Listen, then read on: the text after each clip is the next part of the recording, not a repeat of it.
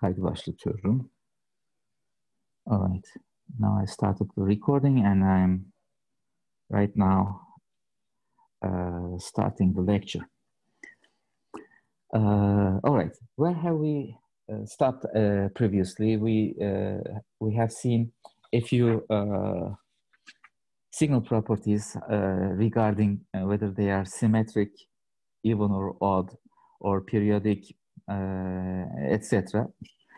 Now the periodicity um, or randomness and deterministic, continuous time, discrete time. Yeah, th those were the uh, things that uh, we, we have mentioned about uh, re regarding the, the signals.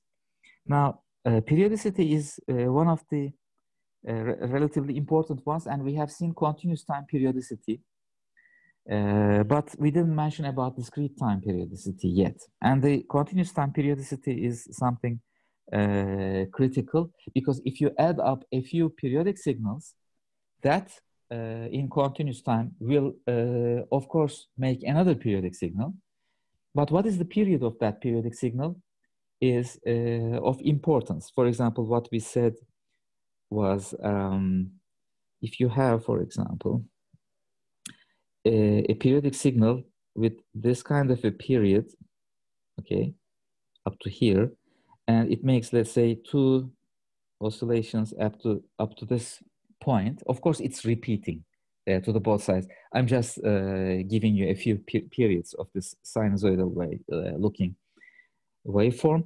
And uh, another signal has a period uh, which is uh, two-thirds of this one let's say up to he here so it makes let me use a different color uh, it makes one oscillation here and another oscillation here and a further oscillation here.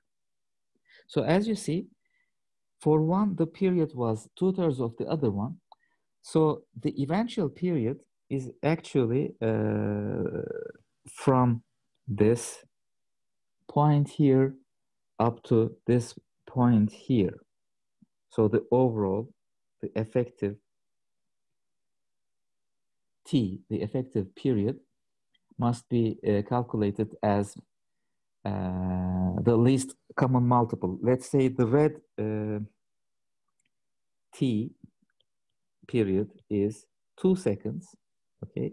And the black one's period is equal to three seconds. So what is the effective uh, period? As you see, after six seconds, they meet again at the same period instant or at the same signal uh, values. So the effective uh, period, period is six seconds. All right. This is how we do. We uh, have to use uh, the least common multiple of uh, the two periods that we are dealing with, this one and this one. Uh, the least common multiple is at least the multiplication of the two for uh, two real numbers. If, it, if one of them is two, if the other one is pi, for example, they have no uh, common multiples. Pi is irrational. If one of them is two, the other one is pi, then the uh, effective uh, period of the summation of two sinusoids with a, a period of two and with a period of pi is two times pi, which is two pi. So real values uh, can at least be multiplied, and that would correspond to a period. But it's not the mean. Uh, it may not be the minimum per period. For the minimum period, you have to find the least common multiple. Now, um, for discrete time, however,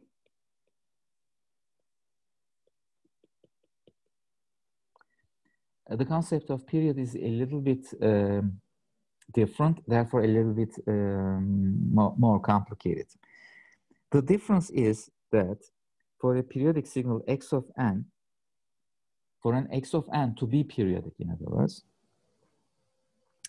it has to be periodic with uh, a period capital N or a period an integer multiple of capital N, where this capital N is an element of integers. integer values, not real values. So a discrete time um, signal cannot be periodic with 2.1 or uh, 5.05 or pi or square root of 2. It cannot be periodic with square root of 2. It must be periodic with something integer because as we know, we have only uh, discrete slots for the discrete time signal. And uh, all the signal values must exactly appear on those time intervals, integer time intervals, on the integer axis of n. So when you shift, you must uh, make a shift of at least one, or you must shift by two. You cannot shift these things by 0.6. Okay, that's not possible. So this period of interest must be always an integer, which seems intuitive. You may say, fine, no problem. Uh, I understand. But when I ask some um, questions, you, uh, this may cause uh, confusions in the student. For example, um, x of n is equal to cosine of okay tan n. It's a function and it's a cosine function. The question is first of all tell me if this is periodic or not. And uh, for the second question if it is periodic what is the period the, the frequency is the same. If you have a period, 2 pi over that period is the frequency, both for continuous time and for discrete time. The, the, the, uh, the representation of frequencies is the same. But the question now is, is it periodic? And if yes, what is the period? And therefore, what is the frequency? Yes, uh, thank you. Uh, Fatih Doğanay says it, it, it is periodic. It seems periodic, right? Because it's a cosine. And that sounds very reasonable. But let's try to find the period then. How can we find the period? We can find the period this time from the frequency. The frequency, the angular frequency, is equal to 10. Therefore, the period, let's say we are trying to find it now as capital N. Let's not notate it with capital T, okay? It's, used, it's reserved for continuous time the period n is 2 pi over 10. And 2 pi is an irrational number, and that over 10 is not uh, an integer. So I have to find an integer which is uh, an integer multiple of n so in, this immediate n is not the period. It is certainly not the period. But can I find a period uh, by multiplying this capital N with an integer and then trying to get an integer, come up with an integer? And the answer is still no, because 2 pi or pi in general is irrational. It cannot be uh, written as something over something else, two integers one integer over to, uh, another integer. Some, uh, some students may think, well, 22 over 7 seems to be uh, pi. No, no, no, it's not pi. It's just an approximation. The real pi cannot be uh, obtained as a over b, where a and b are integers. So you can never, uh, this is not an element of integer, and no k times n for any k, any integer k, could be uh, an element of an integer space. This is also impossible. So we deduce that capital N is infinity. It does not exist. The period is infinity. If something is periodic with period infinity, then it means it's not periodic. So we says we say it's not periodic. It is surprising to come up with a result which is not periodic because it's a cosine, but it's not periodic. So the situation can be, you can motivate yourselves about uh, what's happening here, like sine or a cosine. Uh, it's easier to draw a sine because it starts from the origin. Sorry about that, but same. Something like this, right? And then I am sampling this to come up with uh, some points like this. And this sampled version, the discrete time version, the, the bars with some points on top of them, they never just be, behave exactly the same. They are all very slightly different. They correspond to sampling uh, the sine blob uh, at different amount of shifts and indefinitely different. They are just slightly moving. So you can never have exactly the same uh, segment, let's say from here to here. You never come up with exactly these values these values just appear only once throughout the infinite extent of this n axis.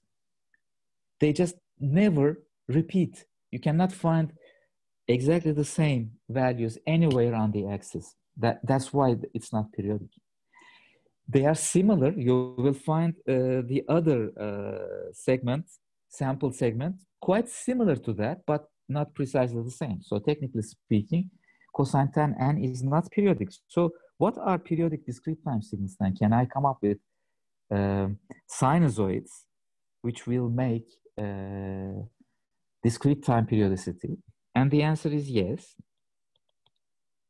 They may look like this. x of n is equal to cosine 2 pi over uh, 7 n plus 1.2, for example.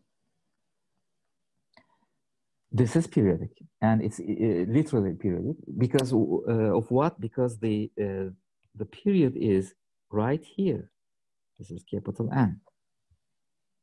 That is uh, because 2 pi over 2 pi over 7 is 7, and that is the period.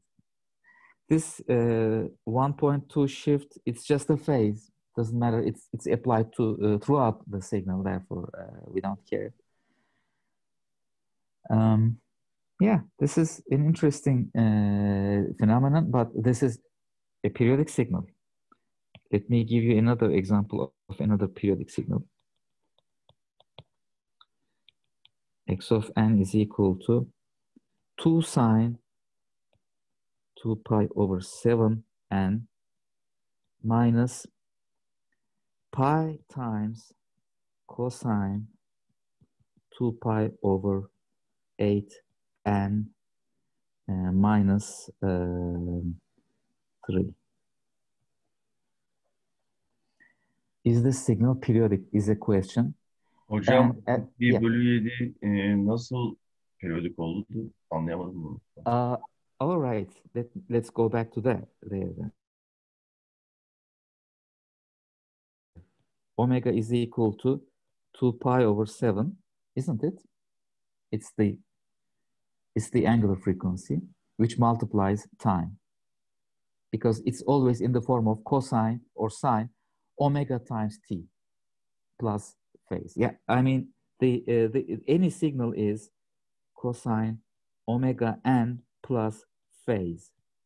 So omega is 2 pi over 7. Is this clear? Say it. All right.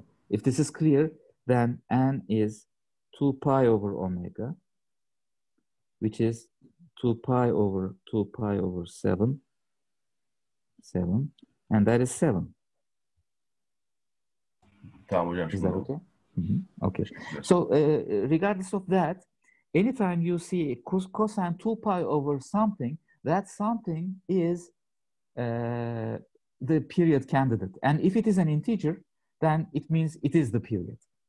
Uh, so let's come back to our problem, uh, the, the newer question. Uh, 2 pi over 7 is one uh, angular frequency here, and um, 2 pi over 8 is another angular frequency of the other sinusoid. We don't care whether it's a sine or a cosine. We don't care about the phase shifts. We don't care about the scales of these sinusoids. One of them is 2, the other one is minus pi.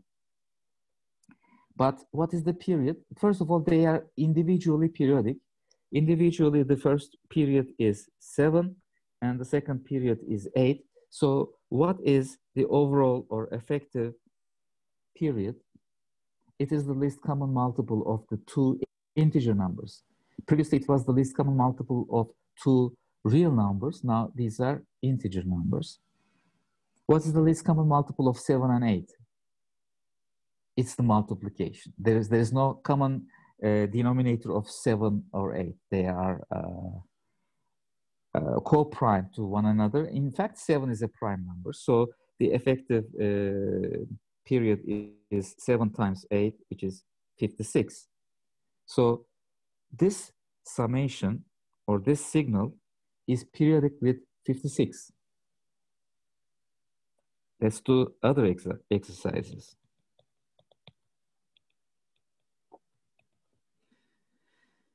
X of n is uh, 3 cosine, um,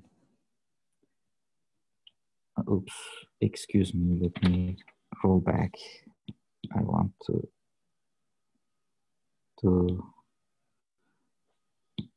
it's like pi over uh, 4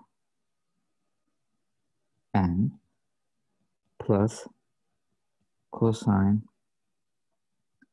pi over 3n. I'm trying to complicate uh, the cases a little bit. Okay, so I'm not giving it as 2 pi over something, but I'm giving it as pi over something. But that's fine uh, because the the first period n1 is it must be found as uh, 2 pi over whatever it corresponds to. And uh, according to that, it is 2 pi over what? It's 2 pi over 8. So n1 is 8. And similarly, this is, n2 is 2 pi over, if you write it that way, it is 2 pi over 6. Okay, yeah. And then uh, what is uh, the period? The effective period.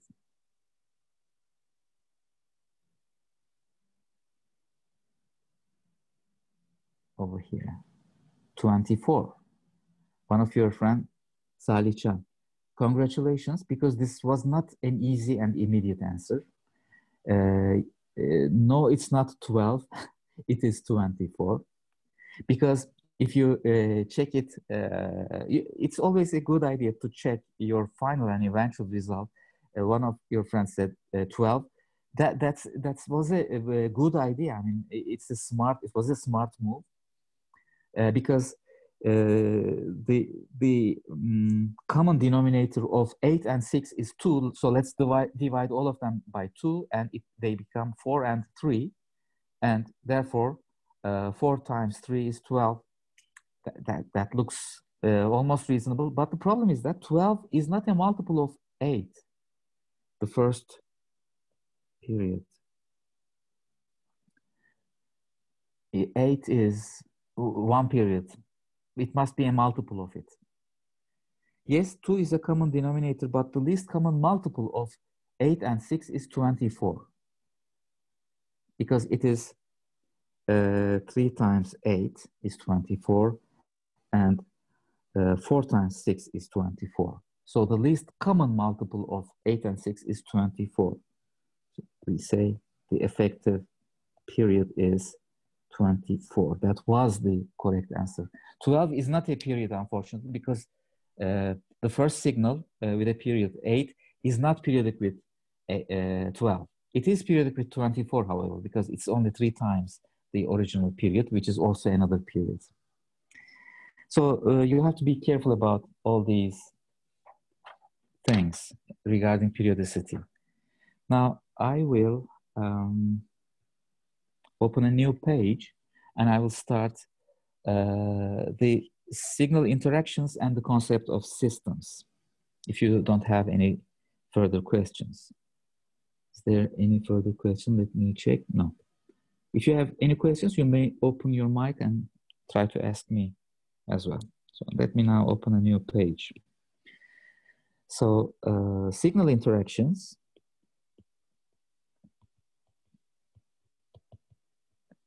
And systems is the new uh, topic. The, these are the uh, sub-chapters, uh, subsections uh, of the first chapter.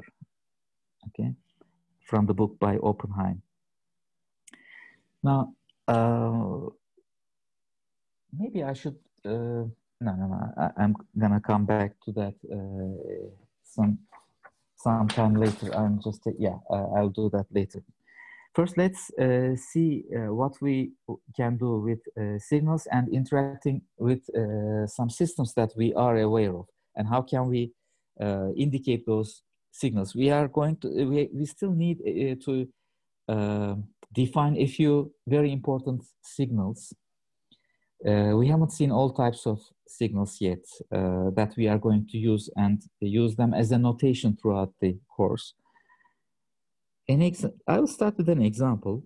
It's, it may look awkward, but in a circuit, suppose that you have a voltage source like this, and it is uh, x of t. You, you pr probably prefer to use v of t as the voltage source, which is time varying, like this. And it is a, simple RC circuit. So we have a resistor and a capacitor here It's connected to that. And the observed output is the voltage throughout the capacitor like this from here to here as plus and minus and I'm gonna call that voltage to be uh, y of t and I will apply a particular a specific uh, input as x of t and that x of t signal I will draw and it's a rectangular box function which starts at uh, zero and ends at uh, time instant five seconds, let's say. So this is the input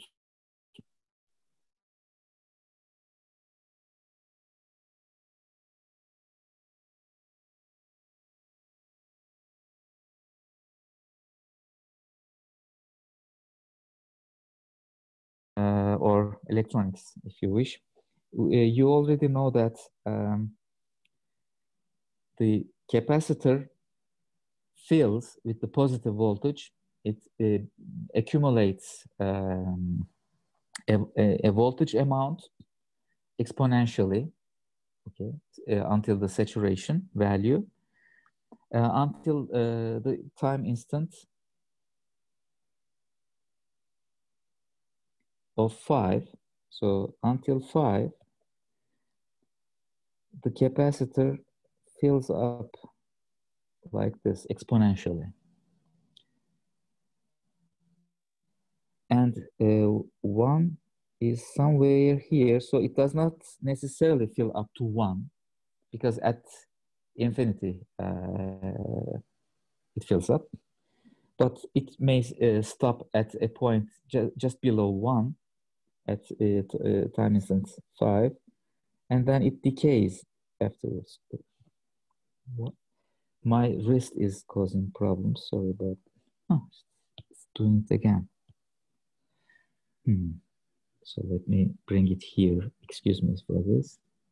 And it decays down to zero at infinity over time. So this was the behavior uh, of the output of y of t. Now, um, these are the things, I, am not going to solve it in terms of uh, circuit uh, knowledge. I, we know the solution, I'm assuming. Now, what I'm uh, trying to show you is uh, the notations that we are going to use. And the notation that we can write x of t, one notation is this plot that I have drawn. You can just plot it, but I can ask you to write it uh, uh, in an analytical form in several ways. And there are several ways of trying to write it in analytical forms. One analytical form of writing this is to use a piecewise uh, expression, piecewise mathematical expression, like it is one x of t I'm writing in the input between time 0 and 5, and it is 0 elsewhere. This is one way of putting it. And using the similar uh, notation, I can write y of t is equal to uh, 1 minus an, an exponential like this between 0 and uh, 5 and it is uh, after 5 it is decaying starting from the point at uh, the value of uh, 5 with a, a decay as I have written. Like this. Actually, I need to make it a little bit longer. So after five, it's a decaying exponential in general, um, starting from uh, uh, a value uh, corresponding to five. And of course, it was zero. Uh, this is uh, t uh, greater than five. And it was zero when t was less than zero. So it covers all the time axis, this exp explanation or this kind of an expression. This is uh, an alternative way of writing it analytically. Using signal processing, there is a, a third way of writing this, and that is um, you, you can write as x of t is equal to u of t minus u of t minus 5. And probably the, the last one that I have written in dark blue, if you can notice it's not black, uh, is perhaps the, the newest one, which you're not very, you may not be very familiar with, because I'm using u of t as if it is a known signal, and indeed it is a known signal. It corresponds to uh, the unit step function. We will come back to that, but it's actually uh, zeros throughout negative time and suddenly it becomes one and stays at one. So U of t is this. So uh, if U of t, t is this, then U of t minus five, we know how to uh, change the free variable, right? We have uh, studied that before. This is U of t minus five which starts at 5 on the time axis. So if you subtract the second one from the first one, you will come up with this rectangular box, which was the input. x of t is u of t minus u of t minus 1, you see? So using one line only, without piecewise uh, making notations and things like that, it's very customary for people to use uh, u of t uh, in expression of the signals. For example, if a signal is uh, only right-hand sided, a sinusoid only to the right-hand side and to the left, it's, let's say zero. So what you do is you say cosine or sine something times u of t. When you multiply with, with a, a u of t, the unit step, it immediately becomes one-sided. U of t is therefore a very beneficial uh, signal that you must be aware of and you uh, should better be using and learning how to use it. We will come back to the uh, uh, soon, but um, right now we are only dealing with um, how it behaves. Or maybe, okay, I changed my mind. I, I, I will, uh, in, a, in a few minutes, I want to give you the definition of U of t. because this is important. U of t, the piecewise definition is like this. It is one when t is greater than zero and zero when t is less than zero. This is what U of t is. But well, how about uh, when t is equal to zero? When t is equal to zero, it's an infinitesimal uh, time instant. Therefore, the value does not really matter and it doesn't change anything for multiplication purposes, for uh, addition purposes, subtractions, etc. If a signal has a particular and isolated value at any given time instant, uh, that value does not uh, define the signal. It does not change anything because it's just an infinitesimal uh, point. So at point zero, the definition of the or the value of the signal doesn't really matter. We don't care about that. And in the Oppenheim's book, it says actually it's one. So it uses this. It is one when t is greater than or equal to zero. But uh, mathematically speaking, that, that is not correct. Although it doesn't really matter. But mathematically speaking, its value is essentially 0.5 when t is zero. So it's the in-between value. It's an interpolation value. That interpolation value I like better because it helps us uh, to make this unit step um, function or signal um, a limiting case of this signal. Suppose this is delta and this is minus delta, like this, okay? And this value is one. And as delta, uh, this is u, uh, sorry, it's u delta, u sub delta of t. And as uh, delta goes to zero, uh, u delta of t approaches to u of t. And as you see, this point, the intermediate point, let me mark it with a red, this intermediate point always remains to be 0.5, no matter how small delta can be. This is uh, how we can approximate the unit step function. This way of making an interpretation will help us to define another signal, but after the break. Now I will uh, stop the recording and I will stop uh, the lecture. We are going to meet at uh, 10 o'clock, okay? At 10 o'clock we will start the second uh, meeting. We have to keep it a little bit short.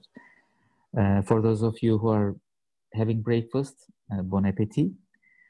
Uh, but for those of you who are uh, carefully listening to the course, you may go grab some tea and uh, have some further breakfast if you wish. So right now, meanwhile, you can also accumulate your questions. If you have any questions, keep, collect your questions. You can ask me when we start at 10 o'clock. So now I'm stopping the recording.